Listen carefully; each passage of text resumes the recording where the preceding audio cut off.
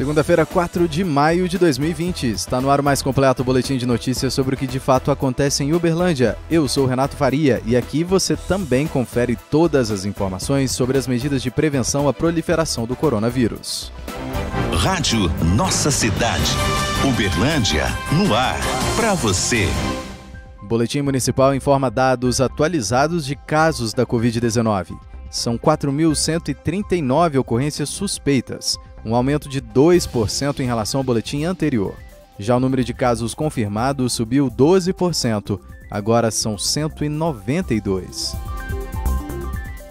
27 pessoas estão internadas. Em leitos de UTI são 11 pacientes. 1.794 testes deram negativo para a presença do novo coronavírus. O diagnóstico de Covid-19 foi descartado em 40 óbitos. A causa de uma morte está sendo investigada. O boletim traz ainda a informação de que se mantém em 10 o número de pessoas que morreram por Covid-19 em Uberlândia. Nesse momento, 84% dos leitos de UTI da rede municipal de saúde estão ocupados. Esse dado considera não só pacientes com suspeita ou confirmação de contaminação por coronavírus, mas também as demais enfermidades. Por outro lado, o boletim também traz o número de altas acumuladas desde o dia 14 de abril. 76 pacientes deixaram a UTI, enquanto outros 120 receberam liberação da enfermaria. O antigo Hospital Santa Catarina, agora anexo do Hospital e Maternidade Dr. Odelmo Leão Carneiro, já está recebendo pacientes de Covid-19. Este hospital foi reaberto em um grande esforço para melhorar o atendimento durante a pandemia e é de uso exclusivo para casos de coronavírus. Por esse motivo, acompanhantes e visitas não são permitidos, a não ser em casos de grande dependência de cuidados. Tudo isso está sendo feito para evitar novas contaminações e disseminação da doença, protegendo você você e sua família. Mas a prefeitura entende a necessidade dos parentes de estarem mais próximos. Por isso, está disponibilizando tablets para que os pacientes possam ter contato com seus familiares por meio de videoconferência em horários determinados. Assim, estaremos preservando vidas e aproximando você de quem você ama. Esta é uma luta de todos contra o vírus. Unidos somos mais fortes. Prefeitura de Uberlândia, cuidando de você, das pessoas e da cidade. Secretaria de Planejamento Urbano retoma parcialmente atendimentos presenciais. É a partir de hoje. Para evitar aglomerações, serão agendados por dia o recebimento de até 24 pessoas no período da tarde. Cada cidadão poderá fazer apenas um requerimento durante o serviço. O agendamento está disponível pelo telefone 3239 2752. A CEPLAN ressalta que os pedidos de alvará de funcionamento continuarão a ser feitos pelo atendimento telefônico. Nesse caso, o contribuinte deve entrar em contato com a secretaria discando para outro número, o 3239-2553. Os requerimentos já disponibilizados no portal da Prefeitura de Uberlândia também permanecem acessíveis somente pela via digital. Atualmente podem ser obtidos de forma virtual 23 requerimentos, certidões online, pedidos de restrição urbanística e tem ainda o serviço denominado Alvará num clique.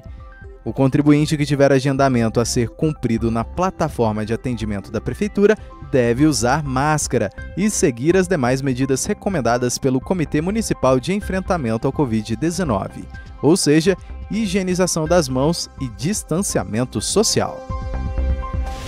Para manter a segurança de todos, os atendimentos serão programados para cada meia hora a partir da uma da tarde. No nosso portal você confere a lista de requerimentos que serão feitos presencialmente. A revolução tecnológica da Prefeitura de Uberlândia também chegou no DEMAI. Quem tem construção agora faz todo o projeto hidrossanitário num clique. Sem burocracia nem papel. Outra novidade é o Zap da Prefeitura, com muitos serviços no celular. Quer a segunda via de conta do DEMAI ou histórico de consumo? Manda um zap e tá na mão. Viu um vazamento de água?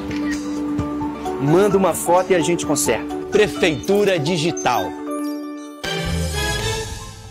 Você ouvinte, está preocupado em se proteger contra a Covid-19 e proteger também as pessoas que você gosta? Claro, né? Então, use máscara.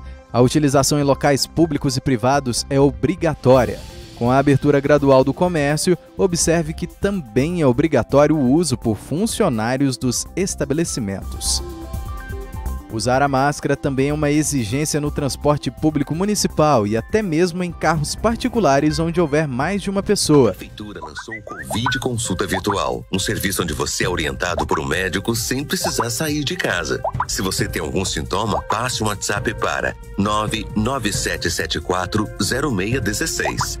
Funciona de segunda a sexta, das 8 às 12 e das 14 às 18 horas. Anote o número 99774 0616. Prefeitura de Uberlândia, cuidando de você, das pessoas, da cidade. Vamos mudar um pouquinho de assunto. Ferube planta pomar para incentivar a fruticultura aos produtores. A Prefeitura segue com seu trabalho de incentivo a alternativas de geração de fonte de renda aos produtores da agricultura familiar da cidade. A Fundação de Excelência Rural de Uberlândia realizou plantio de aproximadamente 600 mudas de seis frutas na Fazenda Buriti. No futuro, o local servirá como um campo de capacitações gratuitas sobre técnicas de cultivo. As variedades cultivadas são de espécies de grande consumo na região. A expectativa é que as capacitações aconteçam até o final do ano em formatos semelhantes ao que acontece hoje com o curso de aquaponia. Além de ser uma unidade demonstrativa voltada aos produtores da agricultura familiar, o campo de fruticultura também servirá para a realização de pesquisas da Ferub. A iniciativa visa atender também a pessoas interessadas em constituir pomares domésticos em casas ou chácaras. Estação de esgoto em Martinésia passa por reforma. Entre as melhorias promovidas pelo DEMAI estão a revitalização do sistema de tratamento preliminar e dos reatores e filtros biológicos, e a conclusão está prevista para os próximos dias. Já foram realizados os serviços de terraplanagem para acesso dos caminhões de sucção e jateamento. Também foi feito o revestimento em fibra de vidro e pintura nos tanques.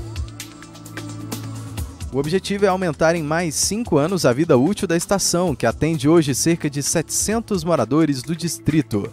As estações de tratamento de esgoto possuem papel fundamental nas questões ambientais e de saúde pública. Elas são responsáveis por tratar o esgoto de forma correta, evitando o lançamento indevido de rejeitos em córregos ou rios. E antes de encerrarmos essa edição, uma última informação.